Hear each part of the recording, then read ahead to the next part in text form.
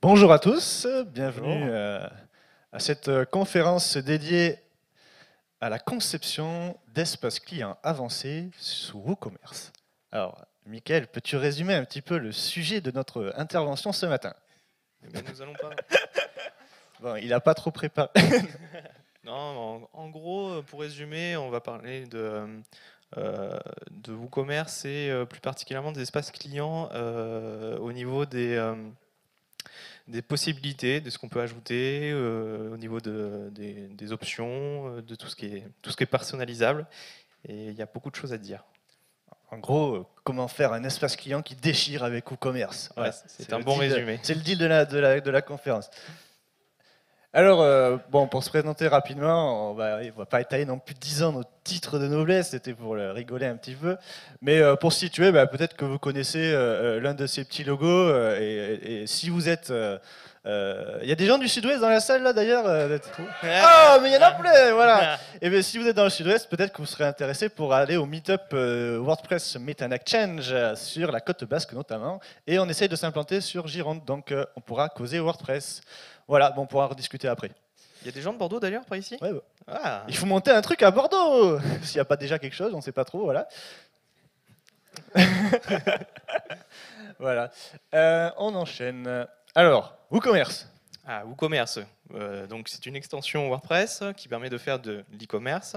Est-ce que déjà dans la salle, il y en a qui font du, euh, du développement WordPress et euh, qui utilisent Qui fait du WooCommerce? Levez la main s'il vous déjà, plaît. qui c'est? Ouais. Ah, bien. Alors maintenez maintenez la main levée, s'il vous plaît. Et parmi vous, qui vend des projets WooCommerce à des Ouais, clients? Voilà. Ah, Autant, autant, autant. Donc c'est bien, c'est bien. On est, vous êtes à la bonne conférence, c'est rassurant. bon, bah, WooCommerce, euh, racheté depuis le mois de mai par Par Automatique, Automatique. euh, société qui supporte donc le projet WordPress.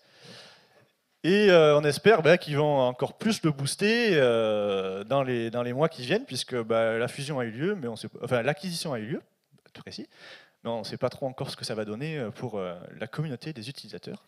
Ce qu'on peut dire aussi sur WooCommerce, c'est que c'est un plugin qui euh, peut, au- auquel on peut greffer d'autres plugins. C'est-à-dire qu'on peut lui donner encore plus de fonctionnalités. Donc à la base, euh, il a certaines options. Et si quelque chose manque, on peut très bien dire bon, ben, euh, peut-être que quelqu'un a développé un plugin qui vient se greffer à WooCommerce. Ça fait le plugin du plugin. C'est ça un peu, c'est qu'on euh, on peut faire, un- on pourrait très bien avoir, euh, on a WordPress avec tout son écosystème d'extension, mais finalement cet univers-là, on le retrouve aussi euh, sous WooCommerce, qui a aussi son écosystème d'extension, et c'est presque deux mondes ben, qui ont, qui ont leur univers à part entière, quoi. C'est cette particularité-là qu'on va aussi creuser ben, Tout au long de la conférence. tout au long de la présentation. Boum. Boum. Voilà.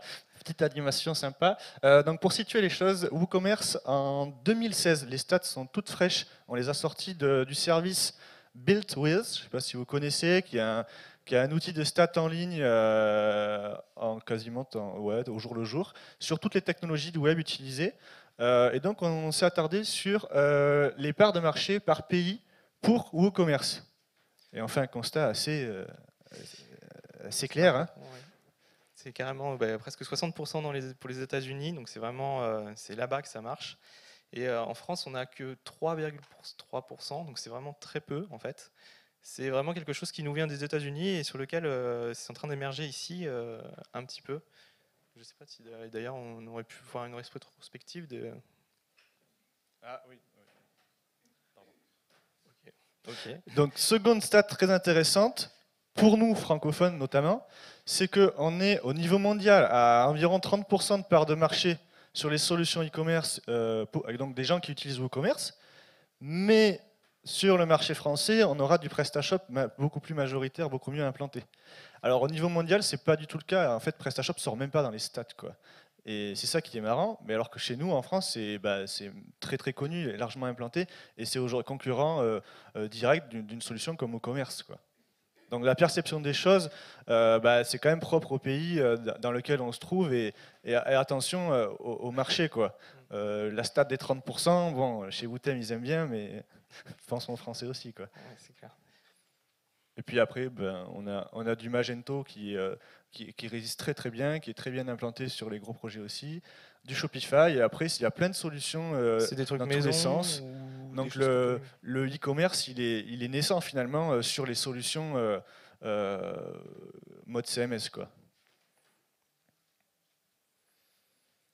Alors, comment définir un espace client? Alors déjà, pour, pour répondre à la question, ça serait bien qu'on sache euh, ce qu'est un espace client par défaut dans WooCommerce. Parce que le, le sujet, c'est quand même de parler de WooCommerce et de WordPress en général. Et donc, du coup, euh, eh bien, par défaut, l'espace client de WooCommerce, quand il est sorti de la boîte, bien, euh, il est assez simpliste en fait. Et il répond à, deux choses. Euh, la consultation, la modification des informations personnelles. Donc, en fait, euh, vous pouvez éditer dans votre compte vos adresses, vos mots de passe et aussi tout, tout- ce qui concerne vos identifiants. Et ensuite, et c'est quand même pas mal, c'est de pouvoir consulter l'historique de ces commandes. C'est là où on peut retrouver où on a passé nos commandes et aussi surtout l'état des commandes. Donc on peut, se, on peut aussi euh, voir euh, donc le, euh, si la commande elle est en cours, si elle, est, elle, est- elle a été bien payée, s'il n'y a pas eu de soucis ou si elle est terminée. Et donc on a quand même un cas particulier, c'est si vous avez des produits qui sont dits virtuels téléchargeables. Donc les produits virtuels, c'est tout ce qui n'est pas physique. Par exemple, si vous vendez un service, je sais pas, une, une nuit d'hôtel, par exemple. Et donc Un e-book un e-book- après, donc ça devient un produit virtuel, mais aussi téléchargeable. Donc, Tout à fait. Téléchargeable, donc euh, ça peut être un- par exemple un fichier MP3, jouer une musique, c'est un produit virtuel téléchargeable. Donc ça, vous le retrouverez aussi dans l'espace client, vous pourrez le retrouver et le télécharger. Et à part ça, ben, on fait rien d'autre dans cet espace client. Et je sais pas vous, moi ça me paraît un peu euh, basique, surtout euh, de base comme ça. Je confirme, that sucks. Un exemple avec euh, le thème Storefront, euh, très connu des utilisateurs de WooCommerce puisqu'il est gratuit et euh, il est souvent présenté dans les tutoriels de, de chez eux et bah, c'est un peu leur, leur fer de lance. quoi. C'est comme on a les 20 euh, euh, dans les WordPress, ben, on va avoir le Storefront qui a des extensions aussi qui viennent se greffer spécial Storefront. Pour si vous voulez apprendre à développer des thèmes WooCommerce, c'est pas mal quoi. Pas mal. Donc vous pouvez creuser ce qu'ils mettent dedans. Il y a des petites fonctions sympathiques. Euh, et ben le storefront de base, qu'est-ce qui nous sort au niveau espace client? Je ne sais pas si vous voyez très bien, mais en gros les commandes, l'adresse et éditer le profil. Ce que je viens de dire. quoi. Alors, euh, ouais, la slide précédente, voilà. Autant dire que c'est bah, pas terrible, ça tient pas trop la route. Si on veut faire un vrai e-commerce, euh, il va falloir, euh, il va pas falloir trop se contenter de ce qu'il y a de base dans WooCommerce. Sinon, on va passer un peu pour des, des nuls, quoi, Peut-être pas quand même. Auprès des clients, quoi. Non, mais je pense qu'on peut le pousser un peu plus cet espace client. Ah, tu crois ça? Oui. On va Je pousser. suis sûr. Et euh, je pense qu'on peut rajouter des petites options. Euh, je sais pas, euh, peut-être continuer. euh. T'as des petites idées? Ouais, j'ai des idées. Déjà, est-ce que vous avez des idées de ce que ce serait un espace client optimal pour vous? Vous pouvez avoir une idée. Dans mon espace client, je veux quoi? Est-ce que quelqu'un a une idée dans la salle? Vous, un espace client, je suis client, je me connecte. Boum, je devrais avoir quoi de base quoi Ah, facture, voilà, ça c'est bien ça. Comment Gestion de commande, on l'a de base. Historique commande dans la de base. Ouais. Ah, Ouais, pas mal ça. suivi des livraisons, oui, voilà. c'est bien. Support. Eh ouais, support. Ah, c'est important. SAV, tous ces trucs-là. J'ai un problème avec mon produit, ou j'ai un produit virtuel, je vais, je vais poser un ticket, il y a un bug dans le produit que j'ai acheté. Comment on fait? Voilà. Ah. D'autres suggestions? Oui, repasser une commande. Il me semble que c'est de base dans WooCommerce.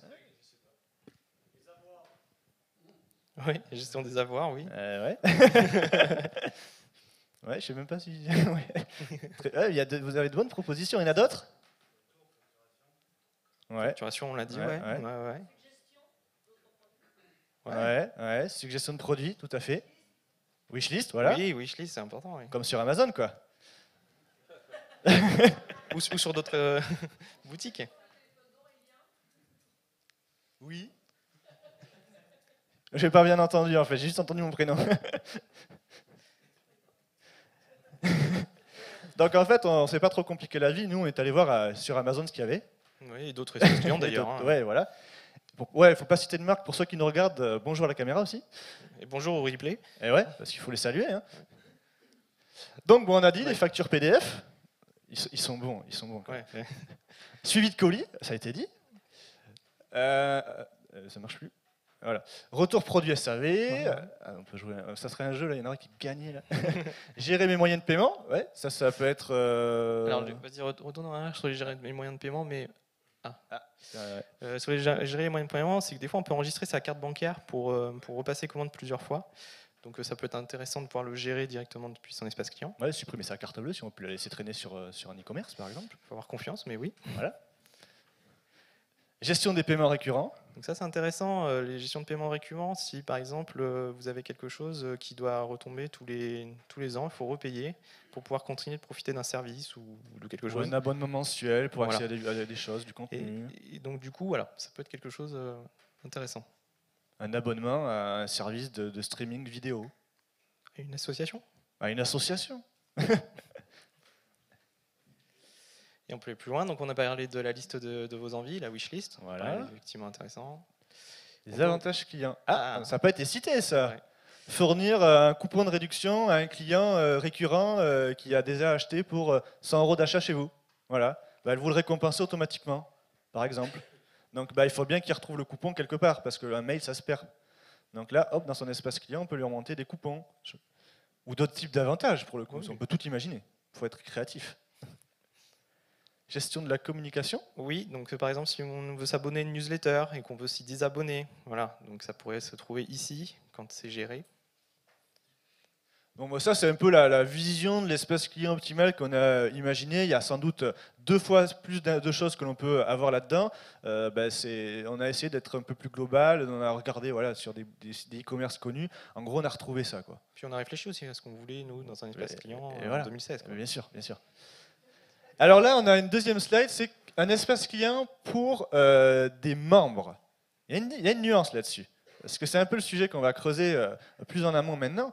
C'est finalement, euh, vous êtes client, mais aussi membre de quelque chose, membre d'un site. Et là, dans ce cas particulier, il y a d'autres services à proposer. Et WooCommerce est adapté pour cela. Alors, qu'est-ce qu'on peut avoir? L'accès à du contenu privatif. Donc, par exemple, on le disait tout à l'heure, je veux acheter euh, un accès pour consulter des vidéos qui seraient privées. Ben, c'est tout à fait possible avec un accès euh, contenu privé. Inscription à des événements. Ben, par exemple, je veux m'inscrire au WordCamp, Ben voilà. tout simplement. Donc, euh, vous pourrez très bien le gérer dans un espace membre dédié et avoir acheté via WooCommerce. Des alertes emploi. Donc là, déjà, c'est un petit peu encore plus Encore particulier. Plus particulier. Mais on pourrait l'avoir dans, dans un espace client. On pourrait très bien dire euh, je veux m'inscrire sur le, sur le site et je paye pour pouvoir accéder ou avoir des À alertes des emploi. offres de très haut niveau. déposer un euh, CV, tout ça. Bon, sinon, ça recrute à côté. hein, pour information, sous WordPress, il y a des agences aujourd'hui. Des badges, bon, encore plus particuliers. Voilà, on va passer un peu mais vite. bon, pour le WordCamp, ça pourrait se justifier. Cotisation, on l'a dit. Du monde associatif, tout à fait, Ouais, avec monde des paiements euh, récurrents, donc c'est ce qu'on disait aussi, ouais. Des clés de Ah, des licence. clés de licence. C'est un petit peu plus particulier. Qui fait de la vente de produits virtuels dans la salle? Et voilà. Est-ce que vous gérez des clés de licence? Non? Oui. Et voilà. Donc dans WooCommerce, on pourrait imaginer gestion de clés de licence. Bon, après, c'est peut-être pas forcément WooCommerce le mieux. Des annonces Voilà, une communication informelle euh, uniquement pour les clients. Vous n'allez pas mettre ça sur votre site en gros partout si c'est que pour les clients. Donc une petite news. Gestion de profil avancé, ça, ça peut être intéressant euh, dans le cas où euh, j'ai besoin d'avoir des infos sur mon profil qui soient vraiment typiques. Euh, je ne sais pas si on peut rentrer dans le Du champ personnalisé qui remonte Voilà. là-dedans, par exemple, euh, Tout à fait. euh, ACF. Voilà, pour par, par exemple, si on retourne sur nos histoires de badge et compagnie, si pour dire euh, j'ai assisté à tel WordCamp, on pourrait très bien mettre ça dans son profil et le faire remonter dans, son- dans son espace membre. Et là, c'est un espacement avec la notion de e-commerce. Voilà. Voilà, c'est mélangé. Alors la question, comment on fait ça? Comment on conçoit ces fameux espaces Euh, ben voilà, vous dites ah ouais, j'aimerais bien avoir euh, suivi de colis, des factures euh, euh, pour mon client, je veux le choyer, il me faut tout ça. Comment je fais ça? Alors on va essayer d'y répondre. Première étape, faut coder. Faut coder le thème. Godez le thème. Donc, nous, on recommande plutôt de ne pas partir sur des thèmes genre acheter ou des choses comme ça, mais partir sur un thème sur mesure. Étant donné qu'on parle de quelque chose qui est sur mesure avec des, fonctionnalités avancées, ça paraît logique de partir sur quelque chose de, sur mesure dès la base.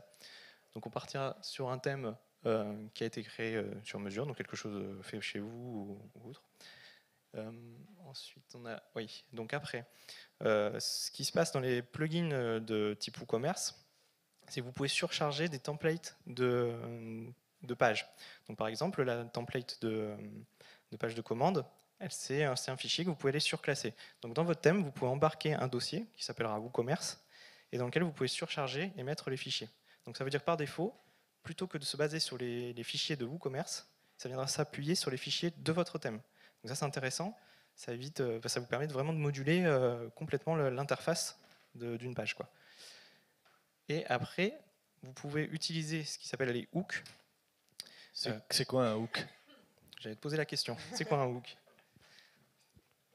Les hooks donc, sont, sont des, un moyen de venir se greffer avec des fonctions euh, sur d'autres fonctions euh, dans un WordPress. et, et, donc sans toucher au corps, sans toucher à l'extension ou au thème que vous auriez installé au préalable. Ou justement à ces fichiers que vous serez venu surclasser. Donc ce qui est intéressant, c'est de se dire euh, finalement dans cette page, est-ce que j'ai vraiment besoin de surclasser tout, tout ce qu'avait fait WooCommerce par défaut? Est-ce que j'ai juste besoin de, je sais pas, de déplacer un titre, déplacer quelque chose? Et il y a peut-être un hook qui répond à cette fonction et euh, qui pourra vous permettre de faire, euh, de faire ce que vous voulez sans avoir à tout charger. Voilà, donc c'est les fameux add action, remove action, add filter, etc. Euh, WooCommerce est très friand de hook. si vous parcourez le dossier template, on y reviendra à la fin de WooCommerce, il y a des do action un peu partout euh, dans, les, dans, les, modèles de template. Euh, dans, un dossier template d'ailleurs. Euh, donc pour le panier, pour la, page commande, etc. Vous pouvez venir vous greffer dessus et injecter ce que vous, avez besoin de mettre à tel endroit en particulier. Et la, la gros avantage de ça, il y a une mise à jour de WooCommerce qui arrive, le hook devrait continuer à fonctionner correctement. Et donc, ça devrait euh, toujours injecter le code au bon endroit. Euh, si vous surclassez toujours avec la première méthode avec des templates, des thèmes, donc dans des fichiers PHP dans votre thème, il est possible que la structure est variée lors d'une mise à jour de WooCommerce et, et, du coup il va falloir aussi mettre à jour ça. Les hooks sont plus faciles à maintenir. Mais les deux sont complémentaires. Oui, voilà. on ne peut pas faire la même chose entre, euh, entre les hooks et le surclassage de templates. Mais bon, on est sur un projet sur mesure, donc il faut toujours prévoir aussi de la maintenance derrière. Ça va pas marcher par magie. C'est clair. E-commerce en plus. Maintenance euh, sur un e-commerce, quand même, la base. La base. Step 2. Alors maintenant, pour remonter des flux d'informations directement dans l'espace euh, dans l'espace membre ou dans l'espace client. Donc c'est vrai qu'on pourrait imaginer tout un tas de choses, comme on l'a dit tout à l'heure. Et pour ça, on a déjà plein d'outils dans WordPress qui nous permettent de faire tout ça. Donc on pourrait euh, utiliser la WP Query, tout simplement, pour remonter euh, des informations euh, qui seraient liées, je sais pas, à un, custom post type qu'on aurait créé pour gérer des alertes, par exemple, qui, qui apparaîtraient dans l'espace membre. on a des extensions qui permettent aussi de faire des appels de, shortcode. C'est pas forcément le plus, le plus propre, mais c'est vrai que des fois, ça permet de faire, faire la, ce qu'on veut sans trop avoir à mettre de la main à la pâte. Donc on peut faire ça aussi. Les shortcuts, pour rappel, c'est les fameux raccourcis entre crochets que vous pouvez avoir dans, votre éditeur classique d'éditeur de contenu de WordPress pour injecter un formulaire, une galerie, euh, euh, ce genre de choses. Et au final, euh, bah, dans le code, il suffit de faire un, bon vieux PHP echo do shortcode, le mot entre crochets, on le met, et, ça va s'afficher. Alors évidemment, c'est toujours mieux si la documentation technique de l'extension propose les appels via des fonctions PHP en direct, il vaut mieux le faire comme ça. Maintenant, bah, une ligne de code avec un do shortcode, ça peut vous sauver la vie, ça peut vous faciliter le développement aussi, si vous n'êtes pas trop à l'aise avec PHP. Quoi.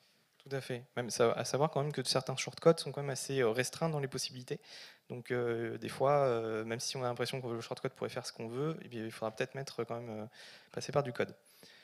On peut aussi récupérer des informations de profil utilisateur. C'est ce que je disais tout à l'heure, par exemple, pour dire qui je suis venu participer au WordCamp.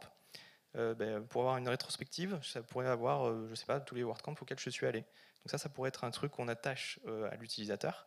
Et ça se fait avec euh, la fonction getUserMeta, par exemple. Euh, Donc après, ben, pour vos clients, vous pourriez avoir dans votre... Vu que les, vos clients, ce sont vos utilisateurs dans le back-office de WordPress. Donc après, c'est assez facile d'aller rajouter un champ dans le profil utilisateur et de le remonter dans ce fameux espace. Voilà. Tout à fait. Et aussi, on peut faire euh, appel à des API externes. Donc, si vous avez des données qui, sont, euh, qui utilisent un service euh, autre, vous pourrez très bien le faire avec une API et, et vous connecter et l'afficher dans l'espace membre. Et WooCommerce gère depuis un bon moment les, les l'API REST. Tout à fait. Donc, on peut pousser de la donnée, récupérer. Donc, il faut un e-commerce, il faut, souvent le penser dans un ensemble. Donc, bah, récupérer de la donnée c'est la base. Quoi. En fait, par rapport à ce que vous dites, on vous a fait euh, réagir tout à l'heure par rapport à ce qu'on pouvait faire dans l'espace client, mais c'est euh, en fait la seule limite, c'est votre imagination parce qu'on peut vraiment tout faire. C'est vraiment l'idée. Et le budget.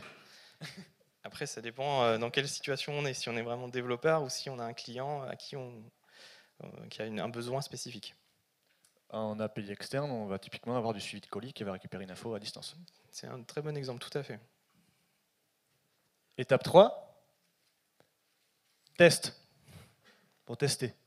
Ça marche jamais. Il faut vous dire ça. Alors comment on teste? Alors, euh, ben, faire des tests unitaires, voilà, euh, c'est quand même la méthode la plus évidente. Euh, mais ce qui est hyper important, et là c'est valable pour n'importe quel projet WordPress, c'est vous constituer un, un, panel de testeurs. Alors un panel de testeurs, il faut vraiment le faire le plus varié possible. Euh, des hommes, des femmes, des jeunes, des vieux, euh, différents types de machines, de systèmes d'exploitation, de navigateurs. Euh, il faut tactile, pas tactile, tactile, pas tactile, qui ont une bonne connexion internet, qui ont une connexion pas terrible. Est-ce que ma page va s'afficher suffisamment vite? Est-ce que mon espace client il n'est pas trop lent? Pour ceux qui, qui, ont, qui ont un débit ADSL moyen Enfin voilà. Il y a vraiment beaucoup de choses et je pense qu'il y a des outils pour ça, pour, pour s'aider, pour savoir un peu quel panel faire pour trouver des utilisateurs type pour pouvoir tester Sans doute. je sais pas. J'ai aimé l'idée. Et aussi, donc, les, ben, les, fameux tests A sur B. Euh, à une partie de votre panel, vous pouvez lui présenter euh, votre, votre, espace client euh, conçu d'une telle manière, le présenter d'une seconde manière à, une deuxième partie du panel, et après, ben, vous leur posez des questions. Alors, ben, comment vous percevez les choses? Est-ce que as, vous leur faites, aussi des exercices? Par exemple, essayez d'accéder au téléchargement de votre dernière facture. Et puis, vous regardez ce qu'ils font. Alors, euh, est-ce que bah, lui, il a mis 30 euh, secondes, lui, il a mis une minute? Est-ce que cette personne, elle a bloqué? Est-ce qu'elle n'a pas du tout compris? Est-ce qu'elle est arrivée au bout? Et là, vous allez très vite prendre conscience que, ah ouais, mais en fait, ce que j'avais imaginé, alors déjà, ce que le, chef, de projet a imaginé, le web designer, le développeur, et au final, euh, l'utilisateur, lui, il a peut-être rien compris à ce que vous avez fait. Et l'expérience utilisateur qui est essentielle, puisque là, on est dans un espace client, donc on s'adresse au plus proche de l'utilisateur, ne l'oubliez pas. Et euh, en fait, vous n'aurez jamais la solution d'entrée de jeu tant que vous n'aurez pas testé. Ça, c'est, on l'a, on, l'a, eu dans tous nos projets.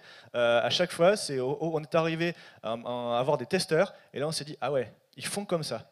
Ah ouais. Et ouais, donc il faut repenser le truc. Donc euh, les tests, essayez d'en faire même le plus tôt possible dès qu'il y a une fonctionnalité qui fonctionne à peu près correctement, que ça tient à peu près la route, une version bêta, boum, un panel de testeurs. Quoi. Ensuite, on donne des outils pratiques pour nous aider justement dans ces tests, voir un peu comment les gens réagissent, justement en leur donnant des exercices. Donc, euh, un des premiers outils dans lequel on peut parler, c'est Inspectlet, qui est vraiment un très bon outil. Qui connaît Inspectlet ah, Personne connaît Inspectlet. C'est utilisé sur WordPress.com, je crois bien, si vous analysez la, source du site. Euh, c'est un outil, c'est un petit script JavaScript. Donc, vous injectez soit dans votre back-office WordPress, en front, n'importe où, qui en fait euh, filme l'écran de l'utilisateur. Alors c'est assez balèze, parce que du coup vous voyez la souris qui se balade, où la personne a cliqué, euh, les zones les, plus chaudes où il y a eu euh, le plus de contacts, le temps qu'il a mis, etc. Donc vous voyez vraiment l'écran de l'utilisateur. Inspectlet. Inspectlet. Donc c'est un, service en ligne qui est gratuit pour un certain nombre de, euh, cas de test. Donc euh, il on peut en faire vraiment beaucoup. Et après, si vous voulez, euh, bah, après il y a des offres payantes. Donc ce service, on l'a utilisé nous dans nos, propres projets et bah, on s'est aperçu vraiment, et notamment en front et en back plutôt. On a fait des, tests en back office également. comment se comportaient nos utilisateurs du, du fameux panel de test. Et c'est ultra, ultra, ultra révélateur. Et ça vous dit bien sûr le navigateur qui est utilisé, la résolution. Ben, quand vous faites des tests en responsive design, évidemment, euh, ah mince, ça passait pas bien, le petit bouton était trop gros, bon ben on peut corriger. Et vous, chez vous, ben, vous avez, à moins d'avoir une armée de, développeurs euh, qui sont tous alignés, euh, qui font les tests, c'est un peu mission impossible. Donc rien ne vaut l'utilisateur final. Oui, et puis comme tu disais tout à l'heure, si tu prends que des développeurs, c'est pas non plus très intéressant. Ah oui, il faut un donc là, utilisateur lambda. c'est vraiment, c'est vraiment, ça permet de pas être derrière les gens, donc de vraiment les laisser faire leur exercice et de, de, de vraiment rien leur dire. Ça met vraiment en avant de certaines choses et de se dire finalement, c'est peut-être pas si parlant que ça mon option et, et de pouvoir faire. Euh, y a- alors, euh, InspectLed, c'est un, un parmi tant d'autres, puisque Ouais. bah, il était sur, euh, sur WordPress.com, donc on l'avait récupéré. Euh, si- euh, enfin, on l'avait testé. Mais il y en a plein d'autres alternatives, plus ou moins efficaces, qui font ce même genre de, de- de screen capture de façon puissante. Quoi. Euh, après, on a l'extension Upcast pour les navigateurs, qui pour texter euh, l'accessibilité, c'est un référentiel assez connu euh, en France. Mais il fait aussi une batterie de tests euh, SEO, euh, ergonomie, tout ça. Donc après, c'est toujours, pareil, ce genre de test un peu automatisé, ça vaut ce que ça vaut, mais au moins il y a des recommandations qui sortent et qui vous guident comment améliorer certaines parties de votre site. Donc bah, quand on pense à tous ces aspects-là, euh, Upcast, c'est pas mal du tout. Alors, petite aparté, pour l'installer sur les navigateurs, notamment Firefox, il faut faire une petite manip parce que c'est pas une extension euh, reconnue officiellement, machin et tout, donc euh, il faut faire une petite euh, autorisation spéciale, mais sinon c'est hyper pratique, ça se loge en bas du navigateur. Vous lancez le test sur une page, ça vous sort une note, un peu comme un, Yahoo Slow, un Google PageSpeed pour les performances. Donc eux, ils ont une batterie de test. Et bah, pour l'accessibilité notamment, c'est très pratique. Oui, puis de toute façon, je crois que tu as toute une liste aussi euh, que tu peux récupérer euh, pour, Ouais. pouvoir- pour pouvoir euh, vérifier. Ah, il y a un référentiel. tout à fait. Voilà, sans extension aussi. Donc bah, voilà, vous avez un- il faut penser à tout, vos, tout, votre, tout votre panel de clients que vous pourriez avoir. Donc l'accessibilité, ça compte. Et ensuite, Et les outils de développement du, du navigateur, tout simplement pour, dé- pour débloquer. ça- Voilà, donc voir, le- Le, le fameux F12 du navigateur, euh, inspecter un élément sur une page, euh, du debug euh, console, etc. Enfin, Voilà, et puis ça permet de voir aussi le, le poids et le temps de chargement des pages. Donc ça peut être intéressant pour de la performance, pour un petit peu améliorer ça. Donc un pro- comme tout projet web classique. Bon, bah, là, on se redit un peu. Euh, conseil euh, d'utilisation de, de, user interface, euh, user experience. Alors, soyez accessible, on l'a dit. Pensez mobile. Donc, euh, il y a plus de. Alors, au niveau mondial, il y a plus de recherche, y plus de recherche sur mobile que sur desktop aujourd'hui, d'après Google. En France, c'est pas encore le cas, mais euh, l'explosion. euh, Enfin, maintenant, on se pose plus la question de dire, voilà, on fait du mobile, enfin, on y est, quoi. Mais après, il faut bien le faire. Alors, responsive design, c'est une des solutions. euh, web app, application mobile, enfin voilà. Mais en tout cas, euh, quand on pense mobile, euh, mettez-en le moins possible. euh, évitez tout ce qui bouge dans tous les sens, les animations. Enfin, c'est des conseils de base, mais évidemment, dans un espace client, vous n'allez pas remettre votre slideshow des meilleurs produits, quoi. Voilà.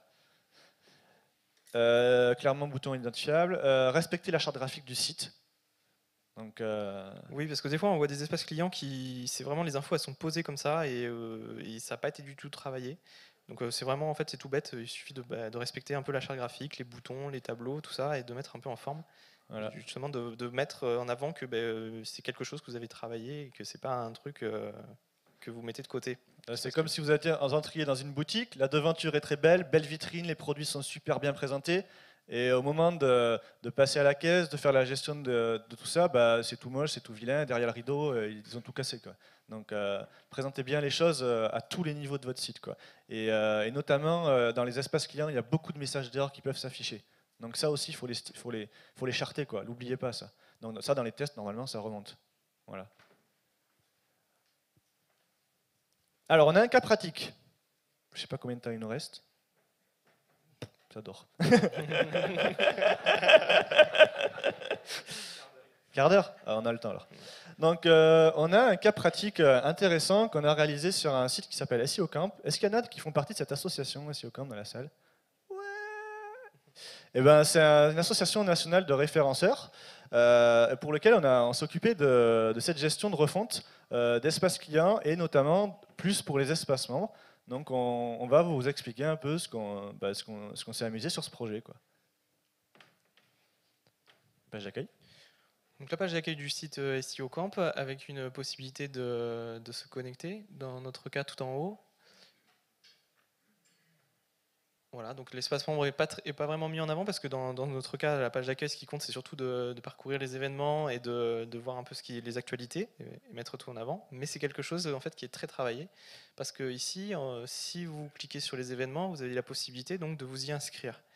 Et donc l'idée, c'est qu'une fois que vous êtes inscrit à un événement, vous avez payé, c'est que vous puissiez retrouver toutes ces informations quelque part notamment à quels événements je suis venu, à quels événements, euh, ben, justement, est-ce que j'ai eu des, euh, des badges. Dans mhm. leur cas, en fait, c'est de dire, bah, si vous venez à des événements, vous pouvez récolter des badges et avoir donc des, pas vraiment une certification. Ouais, voilà. En fait, pour résumer, cette association avait un, un, gros besoin de concevoir quelque chose pour que les membres se sentent vraiment chez eux et que l'ensemble des fonctionnalités offertes par, euh, par, par le site, donc, et donc l'association, euh, de l'événement, de la news, du contenu privé, euh, bah, tout ça dans leur espace avec de la notion de paiement, donc de cotisation pour adhérer à l'association, hein, qu'on retrouve ici et là en fait avec un WooCommerce derrière ces fiches-là, et eh bien que ça, soit géré dans ce fameux espace. Alors, on, va, pouvoir Ouais, avec donc c'est vraiment un truc paiement récurrent et donc régulier. Il faut, c'est tous les ans, c'est ça, il faut renouveler?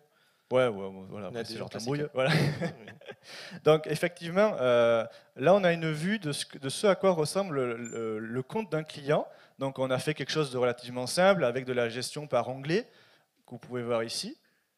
Et ça, ça repose exclusivement sur du développement WooCommerce en fait. Voilà. Donc euh, toutes les informations qu'on va remonter, donc euh, abonnement, donc pour gérer les cotisations, donc voilà, on peut visualiser. Ici, vous retrouvez un peu les, commandes euh, comme on a vu dans le storefront au tout début. On va avoir la, gestion du profil utilisateur avec des champs avancés, par exemple. Euh, je ne sais pas, on peut imaginer euh, tout type d'informations à demander. gestion des commandes, mais pas forcément que les abonnements, ça c'est différencié. Donc ça c'est purement cotisation à une asso. Euh, événement, donc voilà, donc comme tu disais. Euh, je vais, je vais m'inscrire à l'événement euh, de, de, l'association qui, qui, réunit, je sais pas. Et, Payer l'événement aussi, si l'événement est payant. C'est tout ici que ça se trouve. Voilà. Voilà, parce qu'il ne faut pas oublier que bah, là, on parle, on parle d'adhésion sur un site d'assaut, mais il y avait des événements qui pouvaient être payants. Donc, WooCommerce peut faire de la gestion d'événements payants avec de la génération de tickets derrière et d'enregistrement de badges. Et donc, bah, on s'était dit, bah, c'est bien que voilà, vous êtes allé à cet événement, ça remonte ça remonte parce que vous avez payé. Donc il faut aller chercher la commande. Alors tu peux peut-être expliquer un peu techniquement comment ça se passe eh bien, En fait, on a une VP Query derrière qui va chercher euh, les inscriptions euh, aux, événements et qui permet donc, euh, avec un croisement sur, sur l'utilisateur actuellement connecté, de remonter les événements auxquels il, il s'est inscrit et auxquels il a payé aussi surtout. Et oui, et oui parce qu'il y aura des gratuits. Gestion de badge, donc ça on l'a déjà évoqué. Donc, euh, ça c'est relié directement sur le profil de l'utilisateur. Donc comme on disait tout à l'heure, euh, l'idée c'est qu'on puisse dire si vous êtes venu à tel, euh, tel ou tel événement, ça puisse apparaître. Et aussi, ils ont c'est pour un peu gratifier les, personnes quand elles, investissent. ça leur permet de, bah, voilà, de dire vous n'avez pas tous les badges, vous pouvez avoir d'autres badges en, en, vous investissant un petit peu plus. Et donc ici, ça permet de voir les badges qu'on a obtenus. Et donc ça, c'est purement connecté à la profil utilisateur. Voilà. Alors là, ce qui est intéressant, c'est que pour faire un, parallèle avec, euh, avec une boutique e-commerce, bah, typiquement, vous faites euh, tout le système de récompense de l'utilisateur. Euh, voilà, il a acheté pour un certain montant, euh, il a acheté pendant les sols, les périodes de Noël. Bah, vous, vous avez fait une espèce de classement des, meilleurs clients. Euh, bah, là, vous essayez de le gratifier. Ça, c'est purement après dans, votre stratégie auprès de votre clientèle et vous pouvez le développer avec ce genre d'informations, de remontée d'infos dans votre espace client. Quoi. Voilà. Après, bah, il faut faire un beau design et, et voilà. quoi. Alerte emploi les alertes d'emploi. Donc eux, ils ont une particularité aussi, c'est que sur le site, on peut trouver des offres d'emploi euh, ben, en rapport avec le SEO. Et donc on peut euh, se paramétrer des alertes emploi pour euh, si on surveille quelque chose. Donc par exemple, si on cherche un emploi qui a le mot-clé WordPress, et on peut leur demander d'avoir une, voilà, une fréquence pour recevoir des alertes sur les, les nouveaux postes d'emploi qui seraient postés dans le, dans le module d'offre d'emploi. Donc ça, c'est aussi quelque chose qu'on retrouve ici. Donc je peux gérer les alertes depuis mon espace client et dire, bon, ben, euh, je, me suis inscrit, j'ai paramétré trois alertes, je peux en supprimer, les modifier, tout se passe ici. Donc là, ben, finalement, on remonte de l'information qui n'a rien à voir avec du e-commerce, mais qui peut être, euh, qui peut être mixée à l'intérieur de cet espace. Voilà. Donc il faut vraiment se dire, ben, finalement, j'ai un projet, il va y avoir de la gestion de paiement, je vais, monter, je vais avoir quelques petites fiches produits qui sont des produits soit physiques, soit virtuels, soit téléchargeables bah, WooCommerce, il est là, il est gratuit de base, il me permet de faire tout ça. Bah, derrière, il fait aussi la gestion de clients, Login, mot de passe aussi, on ne l'a même pas évoqué, mais de base, il y aura une page de connexion, une page panier, une page commande, ce que vous connaissez bien sur WooCommerce, puisque beaucoup d'entre vous ici l'ont déjà utilisé. Eh bien, eh finalement, euh, utilisons euh, ce, cet outil de base et venons euh, s'y greffer dessus et, développons notre propre, notre propre outil à notre sauce. Quoi. Alors, pour ce projet, on a utilisé pas mal d'extensions qu'on va vous révéler. Et euh, puisque, bah, comme on l'a dit, il y a tout un écosystème qui est euh, propre à l'univers WooCommerce. Et euh, pour faire bah, tout ça, il, faut, il faut aller piocher à droite à gauche. Donc, évidemment, on a utilisé WooCommerce. Subscription, pour la gestion d'abonnements récurrents. Donc, ça peut être sur une base mensuelle, hebdomadaire, annuelle. Donc là, c'était pour les adhésions. Donc, bah, tous les ans, ça dit aux membres, vous devez repayer pour continuer à faire partie de l'assaut. Memberships, pour la gestion avancée des, euh, des, membres, tout simplement. Ouais, surtout de, contenu privatif. Euh, vous avez, un, vous avez des, une catégorie euh, d'articles ou un, type, ou un custom post type. Bah, l'accès à ce contenu, c'est uniquement pour ceux qui ont payé. Donc bah, avec Membership, vous pouvez gérer ça très facilement. Ça peut être aussi avec des groupes d'utilisateurs. Donc là, imaginez, vous avez un e-commerce avec les clients VIP. Et eh ben, les clients VIP, peut-être qu'ils ont accès à, à, un ensemble de produits sur votre site uniquement qu'à eux. Donc euh, s'ils sont VIP, bah, ils, ont, ils sont estampillés VIP, bah, boum, ils ont accès. Voilà. Mais les autres, qui ne sont pas VIP, ils n'ont pas accès. Voilà. Donc ça peut être ce genre de choses. The Event Calendar, donc c'est une extension qui permet de gérer euh, euh, des, des, agendas et plus particulièrement donc dans notre cas les événements. Euh, donc ça fait carrément des fiches euh, événements très avancées dans lesquelles on peut ajouter une carte euh, de géolocalisation. Qu'est-ce qu'on peut faire bah, En fait, voilà, The Event Calendar, pour ceux qui font de la gestion d'événements, il, ressort très vite dans, les moteurs de recherche. Et son principal avantage, il va être d'avoir un ensemble d'add-ons qui vont fonctionner notamment avec des, passerelles de paiement, donc dont du WooCommerce et avec de la génération de, tickets, avec QR code, etc. Donc euh, ils ont pas mal évolué, c'est encore perfectible, mais euh, c'est une bonne solution. Euh, et notamment, notamment j'ai perdu le fil, c'est pas grave. bah ouais, relié à des fiches, à des fiches produits, quoi, tout simplement. Et nous, on l'a utilisé. Euh, oui, pour ça, pour se relier à des, produits, l'achat d'un. Ah oui, oui. Et puis on parlait tout à l'heure dans le développement du thème d'utiliser des hooks et, euh, les, le fameux dossier template de WooCommerce pour venir surclasser dans votre propre thème. Et eh bien en fait, le gros avantage de Event Calendar, il fonctionne pareil. Donc dans Event Calendar, toutes les vues euh, single product, archive product, etc. peuvent être surclassées dans votre propre thème. Donc si vous avez un, un gabarit spécifique à développer, euh, eh ben, vous pouvez, euh, euh, avec grande facilité, dupliquer le fichier, mettez-le dans votre thème, et, ben, vous surclassez, tout simplement. Et donc, quand le plugin est mis à jour, ça continue à conserver votre gabarit. Donc, c'est très proche de WooCommerce dans le fonctionnement. Bon, bah, Ticket Plus, c'est un add-on pour gérer des, tickets. Voilà. Je crois qu'il fait le, pendant entre The Event Calendar et les subscriptions, non? C'est possible. VP Job Manager euh, et un paquet d'extensions qui vont avec, euh, qui est euh, un plugin développé à la base par des gens de chez Wootem et qui du coup maintenant est dans l'escarcelle d'automatique. et Job Manager gère des offres d'emploi. et donc bah, typiquement, vous pourriez avoir des recruteurs que vous faites payer pour publier des offres d'emploi sur votre site. Et donc bah, forcément, qui dit payer dit WooCommerce. Voilà, les genres d'interactions qu'on peut avoir. La facturation. On y revient. On en a parlé tout à l'heure, effectivement, la facturation PDF, donc euh, avec l'extension commerce PDF Invoice, c'est une package type, et, euh, qui permet bah, de, tout simplement d'attacher dans les emails de notification directement un PDF euh, de facture.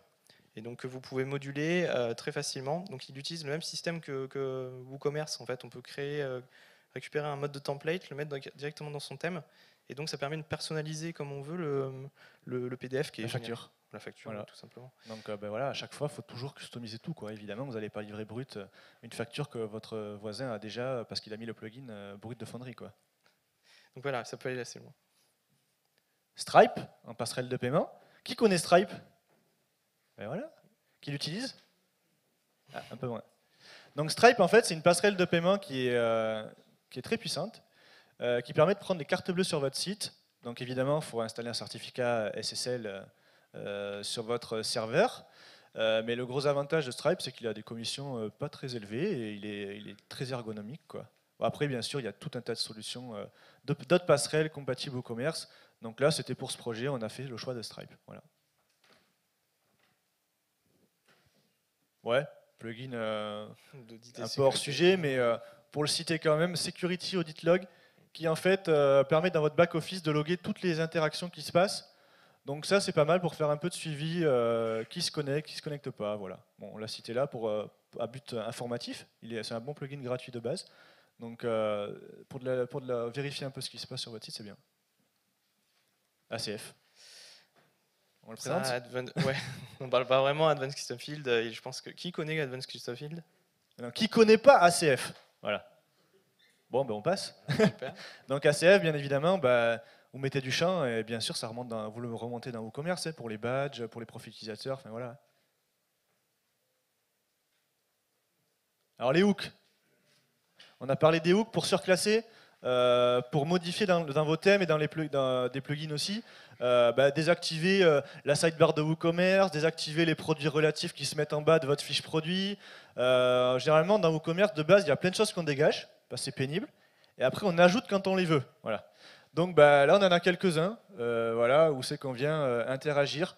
Donc avant le contenu, après, la sidebar, le résumé produit, Enfin, il y, en a, y en a une palanquée, on a bien fait 300 euh, lignes de code rien que pour virer des choses. Quoi. Mais ça marche. Donc là, j'en parlais tout à l'heure, c'est cette histoire de, surclasser les, euh, le template de par défaut. Donc euh, ici, on a notre, notre thème sur mesure SEO Camp, et dans lequel je suis venu ajouter un dossier WooCommerce, et nous avons ajouté les, les, les, templates qui nous intéressaient à surclasser. Donc on retrouve bien My Account, toutes ces choses-là qui, permettent euh, donc de modifier euh, l'espace client. Et donc après, on a tout ce qu'on disait aussi, donc les PDF, euh, la carte, les emails. On, est assez, on va assez loin. Ouais, on va, on va très loin d'ailleurs. à partir de là, bah, comme vous avez le fichier dans votre thème, vous faites vraiment ce que vous voulez. Vous n'avez plus de limites, vous reprenez, vous modulez. Nos limites, nos limites. Alors, un petit aide-mémoire de l'ensemble des technologies qu'on a utilisées dans, le projet et que vous pourriez être amené euh, à, réutiliser de votre côté. Les, types de, alors, les custom post types, type de contenu personnalisé en français. Donc bah, on avait bah, évidemment WooCommerce, il crée les produits, Event Calendar, il ajoute les événements, après on peut avoir les offres d'emploi, après vous pouvez avoir tout ce que vous créez vous. Donc bah, ça c'est assez basique euh, et, utilisé sous WordPress, qui va de pair avec les custom taxonomies, donc pour faire du filtrage, du classement. Voilà des champs personnalisés, soit en manuel, soit enfin en manuel, soit un vieux custom field, soit via ACF si on met une interface. Twitter Bootstrap pour le responsive design, c'était les petits onglets tout à l'heure qu'on voyait euh, notamment, mais, euh, mais pour l'ensemble du site, nous on aime bien utiliser ce, framework. Les VP Query donc pour faire du contenu, des requêtes sur du contenu personnalisé. Euh, la gestion HDPI, donc c'est pour les écrans euh, de type euh, haute résolution. Retina. Qui gère le Retina dans ses projets dans la salle? C'est bien. Donc bah, c'est assez folklorique la gestion du Retina quand on veut bien faire attention. On peut avoir des surprises. Donc, mais aujourd'hui c'est incontournable. Hein. iOS c'est Retina, donc faut pas oublier ça. Ne pas dire que c'est un petit gadget, 1% des utilisateurs dans le monde ont un Mac ou je sais pas trop quoi, et ils l'utilisent iOS, c'est populaire quand même, mais c'est Retina. Donc le petit logo qui est flou sur le site, euh, c'est un peu bête, quoi. surtout sur e-commerce. Donc attention. Les langages, est-ce que c'est vraiment utile de les citer euh, voilà, standard. Voilà. Les hooks. Les hooks, donc comme on disait tout à l'heure, et puis bah, PO Edit pour les traductions, puisqu'il s'agit d'un site euh, qui Oui, parce que bon, il faut préciser une chose, dans tout le boulot des extensions ajoutées, surclassées, remodulées, fait à la main aussi, eh euh, ce genre d'extension euh, à la WooCommerce, c'est euh, potentiellement plusieurs jours de trad. Alors, il y a des traducteurs devant qui savent de quoi on parle. Donc ça, comptez-le surtout. Quoi. Alors, une petite citation pour la fin. Les clients peuvent pas ne peuvent pas toujours vous dire ce qu'ils veulent, mais ils sont toujours capables d'exprimer ce qui ne va pas. Eh oui. Comme on parlait tout à l'heure avec les tests. Alors, c'est Carly Fiorina je ne sais pas si vous la connaissez, ex-PDG de Elite Packard, qui avait euh, sorti cette citation un jour. Donc, euh, ben, vous, pouvez passer un bon moment sur votre projet, faire tous les tests euh, d'ergo, tout ce qu'on veut. tout le monde est content. Et puis, vous allez à faire tourner le site, mettre en prod. Et là, d'un coup, on va vous tomber dessus, on va vous dire ça, ça va pas. Et là, euh, bah, il faut écouter vos clients. hein. Vous n'avez pas le choix, sinon vos ventes, vous les ferez pas. Donc c'est tout. Donc n'oubliez jamais vos clients. Écoutez-les. Clients euh, ou utilisateurs d'ailleurs. C'est les deux. C'est pareil.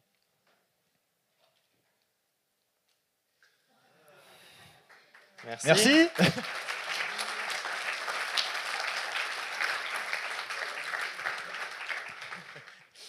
Euh, surcharger les- le thème euh, WooCommerce, euh, c'est toujours très bien, très pratique.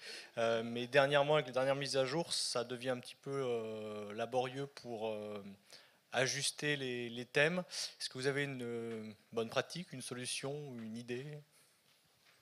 À part faire du ligne par ligne euh, les deux. euh, Euh, Il y a euh, dans WooCommerce, euh, dans le back-office, un, onglet qui permet de dire, euh, qui scanne le thème et qui dit attention, ça depuis là, euh, telle version c'est déprécié, vous devriez euh, modifier cette fonction. Donc il, il scanne les fichiers dépréciés en fait, il vous l'indique. Donc ça c'est déjà une première aide. Après, euh, bah, c'est aussi faire des tests et voir bon, bah, est-ce que ça continue à bien fonctionner? À ce moment-là, bah, vous pouvez laisser tourner. Quoi. Mais il le dit, quoi. il y a une aide dans le back-office, euh, dans un onglet, qui déjà euh, scanne un petit peu. Quoi. Voilà. Bon, après, on peut avoir la, les- la rétrocompatibilité euh, sous WordPress en général, elle est bien assurée. Donc, euh, mais Ah, sous WooCommerce, c'est un point qui, qui est ouais, sensible. justement, sur, sur WordPress, c'est super bien supporté. Sur WooCommerce, je trouve que c'est un peu moins. ouais, c'est un peu plus douloureux quand on. Surtout quand si c'est un thème premium qui avait fait euh, 300 fichiers de template en plus sur pour surclasser en PHP. Mais même quand on le modifie nous, enfin on- quand on fait les, il y a quand même pas mal de changements Ah, ouais. euh, D'où les hooks, c'est un peu mieux si on peut le faire. Mais c'est pas toujours possible. Mais ouais, d'accord. merci. Bonjour.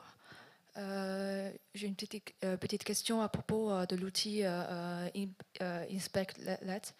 Euh, Est-ce que il, tous les tous les types d'écrans, que ce soit tous les mobiles ou et puis le rapport généré, c'est par rapport à, à chaque type euh, d'écran où ça se passe comment Alors en fait, oui, il prend en charge tout ça, il y a sans souci. Et euh, en fait, c'est un ensemble de sessions qui sont enregistrées par, euh, par jour et par site. Donc euh, après, il suffit de cliquer sur la session euh, de son choix. Et là, il y a, il y a la vidéo qui, qui se déclenche et on voit ce que l'utilisateur a fait. Voilà. On a aussi le, pour, pour compléter, on a aussi le, le- le détail de, de son navigateur, d'où il s'est connecté, etc. Donc tu- on peut savoir ça au niveau de la, de la vue des sessions. On peut le voir et je pense qu'on peut le filtrer très certainement. Je ne connais pas assez l'outil. Merci pour la conférence. Euh, J'ai une cliente qui est dans l'événementiel et puis elle souhaite en fait louer du matériel, euh, des tables, des nappes. Est-ce que Wo- WooCommerce propose un système de devis? Oui, il me semble qu'il y a une extension qui permet de le faire, euh, donc c'est tout à fait possible de, compléter. Après, je ne connais pas le, nom de l'extension. Oui, oui, il y, a- ça, ça doit être quoi de quelque chose, il faut taper le nom en anglais, euh, mais il y avait une extension, on avait eu le cas d'une demande client qui voulait remonter euh, ou faire uniquement du devis dans un espace client, euh, et le store était géré par un WooCommerce et derrière, donc euh, il y a une extension pour ça, euh, alors c'est WooCommerce Quote, enfin il faut chercher dans, dans Google, mais il y, en y en avait une, ouais, il y en avait une. Mais c'est des choses ouais, assez classiques finalement. Et aussi la génération de bons de commande, ça, ça s'envisage quoi.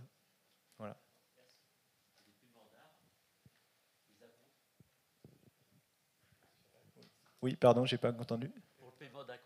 Le paiement d'acompte. Euh, on a eu cette demande, je crois, non? Il me semble qu'on a eu ça. Ça peut, ça peut s'imaginer, ça.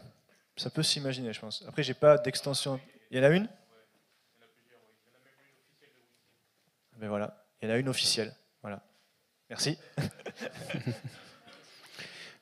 Euh, bonjour, merci pour cette énergie que vous nous donnez ce samedi matin, c'est super. Euh, J'ai un client qui travaille pour des supermarchés et donc chaque enseigne référence les produits. Euh, ce que le client voudrait sous commerce en back-office, c'est que quand le supermarché voit sa commande, il puisse lui proposer des produits qui ne sont pas référencés encore, mais qui pourraient l'intéresser. Comme ils ne sont pas référencés, ils n'ont pas encore un prix pour ce client-là. Vraisemblable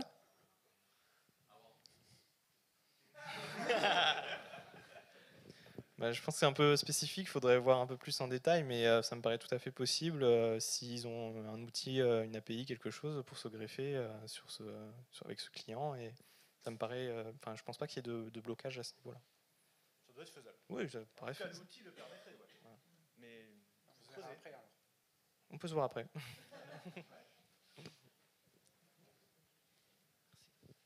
Bonjour. Bonjour. Alors, euh, j'ai une question plus générale sur, euh, sur WooCommerce, c'est la gestion du multilingue combinée à la gestion du multidevise. Est-ce que ça se fait? Est-ce qu'il faut fuir? Est-ce que que- qu'est-ce que qu'est-ce que vous en pensez? Bon, alors la traditionnelle question du multilingue. Plusieurs approches. Multisite, ça on oublie sur WooCommerce, ça marche pas. Euh, plugin, polylangue, VPML. Alors, euh, polylangue, euh, il paraît que si on modifie des, avec quelques filtres, ça marche bien. Voilà, il paraît que ça marche, pas testé. VPML, ils ont une add-on pour ça, mais comme c'est VPML, personnellement, on n'aime pas. Donc, euh, multidevise, ça gère sous WooCommerce. Euh, maintenant, après, ouais, multilingue, bah, je dirais polylangue en customisant un peu le truc. Quoi. Mais c'est pas, pas si simple. Pas si simple. Salut. Salut, ça va? M- Multisite, euh, WooCommerce, ça marche pas? Euh, On m'a dit que multisite avec WooCommerce, déjà, attention, de source interne. Tu vois qui je veux dire? Et après, euh, oui, éventuellement, tu fais pas une activation réseau, mais tu actives site par site pour bien créer les tables. Mais on m'a dit, ils n'ont pas trop testé en interne. J'ai testé, ça marche bien. Bon, alors il a testé, s'il le dit, faites-lui confiance. Bonjour Charles. Euh, non, moi c'est pas une question, c'était juste pour apporter une, petit- une petite information supplémentaire sur les tests. Euh, en amont, avant même d'avoir des clients, avant même de le mettre en prod, euh, j'utilise un outil qui est vraiment très performant, qui s'appelle BrowserStack. Donc je sais pas si tout le monde le... C'est pas forcément connu, mais c'est utilisable aussi bien par des devs sur des fonctions très avancées comme par du grand public. Ça peut être testé sur plus de 200, euh, 700 systèmes d'exploitation et navigateurs existants, périphériques mobiles, tablettes et tout ça et qui est vraiment euh, très performant. Et en termes de, de simulation, c'est euh, quasi à l'identique que de l'afficher sur son écran d'iPhone et, et de tester tous les OS possibles et inimaginables. quoi. Enfin voilà, je recommande BrowserStack, vraiment. Ok, super. Bonjour, merci pour la conférence. Je voulais savoir, avec le rachat par automatique, est-ce qu'on aurait un risque que le plugin devienne payant? Non. Non. Je pose pas chez eux, mais non. C'est le modèle freemium qui leur fait la popularité. Les 30%, c'est parce que c'est gratuit à la base, sur tout ça. Et après, c'est l'écosystème qui, peut être payant ou gratuit. Et les services autour. Ça reste la philosophie WordPress de toute manière. Pas de crainte. Fonce. Bonjour, euh, merci pour la conférence. Euh, J'ai une petite question sur les plugins que vous avez utilisés. Oui. Est-ce que vous avez été confronté par moment euh, des difficultés sur l'intégration C'est-à-dire, euh, si votre client vous a donné une maquette, un PSD, est-ce que vous avez eu du mal à faire rentrer le PSD avec les plugins que vous utilisez, qui utilisaient une structure HTML particulière, euh, qui était parfois compliquée à des registres, des scripts ou des choses comme ça? Oui. Oui, mais. euh, Voilà, oui. Mais on y arrive. Hein. C'est- Après, c'est du templating. Voilà, c'est comme créer un thème WordPress. hein, Il y a toujours des difficultés. ok, merci. Voilà, on y arrive. Merci beaucoup.